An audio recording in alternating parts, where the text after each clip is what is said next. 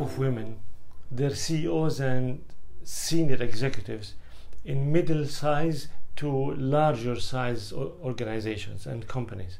They get together every few months as a support group where they can consult each other on how to conduct their business in a better way. It was interesting what one of them shared with me two weeks ago about their idea of wearing these jeans and simple t-shirts to the meeting. And I asked, why did you decide to do that? And they said, because we wanted to remove the social pressure of dressing up, you know, nicely when the situation and the environment around us, especially economically, is going through really, really tough times. So by wearing jeans and t-shirts, it removes the pressure on all of us and it significantly reduces our expenses that we usually do, you know, to upgrade our uh, wardrobe and, and, and what we wear. And I found this very interesting because it's an interesting approach to adapt to difficult times. And the reality of life is that sometimes we go through difficult times. Sometimes companies go through difficult times. People go through difficult times. Entire economies, maybe the entire world economy goes through difficult times. And this is hard. It's painful. It's stressful. Why is that? Because it forces us to change the way we live. The only word that comes to mind in this situation is the word adaptation because it's really the, re- the key to survival. Do we have any other choice but to adapt? Because if you stay on the same level, then what happens? Then you're really denying your reality.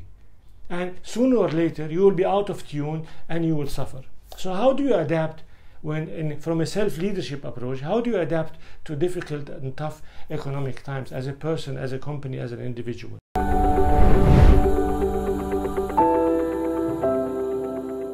First thing you do is cut unnecessary expenses. Just remove them. So whatever is not really super important, take it out. All the expenses that you do because of social uh, pressure, whatever, you know, the things we do to impress each other and to fit socially, you don't really need to do that in these difficult times, and people would understand. Also, may, maybe you should go to generic instead of being stuck in branded things branded clothing, branded whatever. You could get the same quality in generic. In, in following generic consumption. Also by removing clutter of unnecessary things. So making your life simple also reduces the pressure for, you know that comes from from financial and economic uh, difficult hard times. Another approach is to move on the offensive, and that is how do you recreate yourself so that you can adapt to the new reality, and that happens by repackaging your product.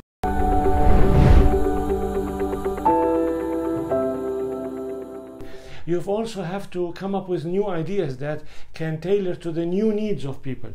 My point is, my point is, we have no choice but to adapt until these difficult times are over with the purpose that our eyes on what's coming next, which is going back to prosperity, to better times. So it's just a short term temporary adaptation so that we come out of this in a better shape and we go back to the previous life that we were more comfortable.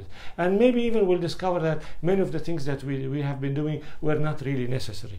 Bottom line, self leadership requires adaptation, specifically when you're going through difficult financial and economic times.